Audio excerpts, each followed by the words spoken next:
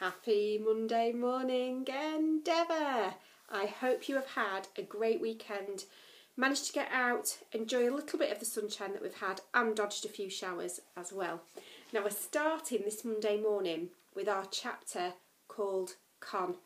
We left it on Friday when Fred and Con had scaled the heights of the canopy of the rainforest, linked to our geography last week, um, and found a map.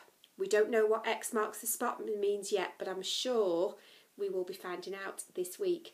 You'll see on your timetable as well for this week that I've plotted out every chapter that will be on YouTube every morning ready for you to start the day. Okay, so our chapter today is called Con. The next day was Wednesday. Wednesday at school began with double geography. The most exciting thing that happened on Wednesday was biology with old Mr. Martin, who was liable to break wind at unexpected intervals. This Wednesday, Fred woke to the uh, rainforest thunderstorm and rain dripping through the roof of the den into his ear. Lila and Con were already awake, poring over the map, their heads almost touching. Max was snoring in a rain puddle, mud in his fringe and eyebrows. Bacchus' fur was soaked and slipped against his bones. He looked as furious as it is possible for a sloth to look. Lila laid her thumb on the X on the map. It's got to be much closer than Manaus, she said as she turned and saw Fred was awake. Fred, do you think the raft could get us there? He moved to look, feeling his muscles creak under his skin. Both girls were shivering. It wasn't cold, but the damp of the day had got into their skin. We'd have to get through all those weeds here, he said, and there's that sign there. That thing looks like a snake. Exactly. He looked out towards the river and the filing cabinet grey sky. But yeah, I think we could. But you don't think we should? asked Con.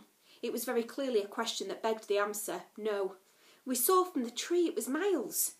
We can't stay here forever, said Fred. He had never wanted anything so much as he wanted to launch the raft down the river to find the X. He needed to know what it was to be an explorer. There was another kind of hunger in his gut that had nothing to do with food. It was terror and possibility fused together with hope. You've got to be joking. Con looked from Lila to Fred. We do have a map, said Lila softly. We would actually know where we were going this time. But you don't know what's at the end of it. Con's skin was right, white and red in patches. But it's got to be something, or there won't be the map, said Fred.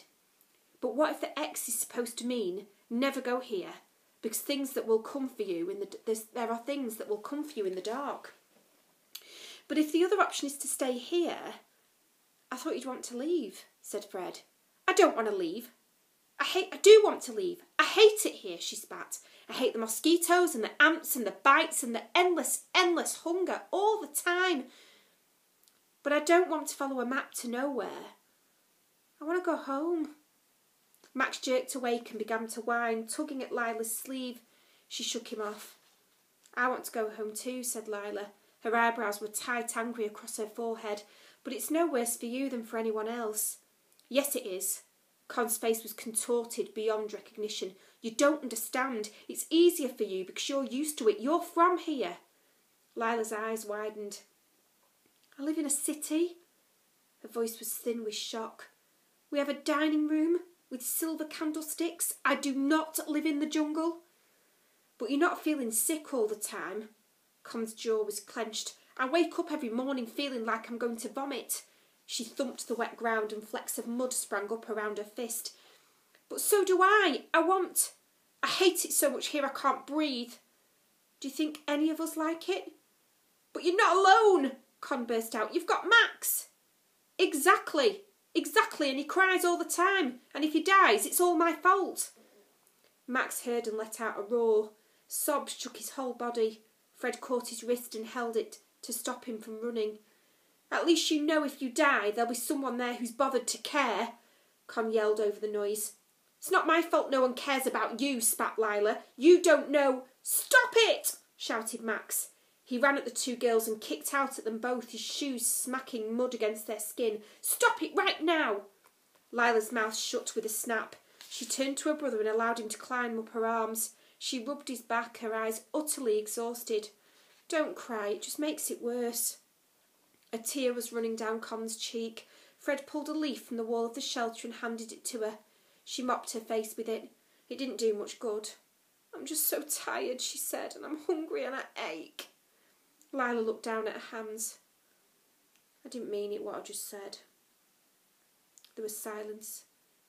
The rain thumped against the leaves over their head. I have nightmares about my mamma, said Lila. I dream that she's looking for me and I'm caught in a tree and I can't shout and I can't make her look up and see me. She hesitated. Do you dream about your parents? Fred dreamt of nothing else. His father just out of earshot, just out of reach, while he struggled in the dark to touch him with his fingertips. He half nodded carefully, non committal. Con's mouth shaped a word, then fell still. It's not like that for me, she said at last. I live with my great aunt. What happened to your parents? asked Lila. They're dead. Con's mouth hardened again and she set her jaw as if daring them to sympathise. My mother died when I was three and my father was killed in, a, in the war. And then a family fostered me. But you just said they had a baby of their own and they threw me out. So I was sent to live with my great aunt. Con gave a carefully nonchalant shrug. She didn't really want me, but there were no other options. They kicked you out? They said I bullied the baby, but I didn't. But once, once it was crying and it wouldn't stop, so I gave it a slap. Oh, said Lila. Her face was stricken. And I don't know. She paused, swallowed, bit off a slither of her thumbnail, and went on. They said I shouted things at the baby. It was only once, truly, and it didn't understand, so why would it matter? Fred nodded. My great aunt, she sends me to spend summers with the nuns. Nuns? A convent school. That's why I'm in Brazil. The year before that, I was in India. She says the travel will improve my character, but I hate it. Do you want to be improved? Lila seemed to be trying not to sound too sceptical. Con tried to smile. Not really, but she likes the girl- girls to be quiet and proper. She says I'm rude. I don't mean to be, but then when I try to be good, what I think is good, she doesn't notice. Or maybe she doesn't care. So mostly I just, I don't know, I don't bother. She wiped her nose with a finger and thumb and I don't think I don't think she'll have sent people to look for me. There isn't much money. The convent school paid for my boat fare here. They have a fund for war orphans. She grimaced a deep, bitter wince away from her own words. Charity case. So when he said, I lied. Your aunt sounds absolutely awful, said Lila. Really, she does, Fred said. He wondered if he should punch Con on the arm the way the other boys did at school. He decided it might not be a punching occasion. She's just old, really. Con breathed in a deep, shuddering breath, as if she'd expelled something weighty. She scrubbed at her eyes with a handful of her hair. I never told anyone about my foster family. Please don't tell anyone. Who would we tell? said Fred, looking at the green wall of jungle around him. Lila unhooked back his claw from her neck and settled him on Con's shoulder. Here, he might try to eat your ears, but he means it in a nice way. A tear ran down Con's cheek. Backer licked it away. Fred looked at Con. Fred had never hugged anybody. His father didn't believe in hugging. He said it was presumptuous and unhygienic. But Con looked so suddenly bony and defeated. He made a fist and pushed it softly against Con's shoulder, rocking her sideways. Con waited longer than Fred had expected before. She tensed up with a half laugh and shook him off. OK, she said. Her breath was shaky. Fine, you win, we'll follow the map. Fred felt something fierce and hot ignite in his stomach.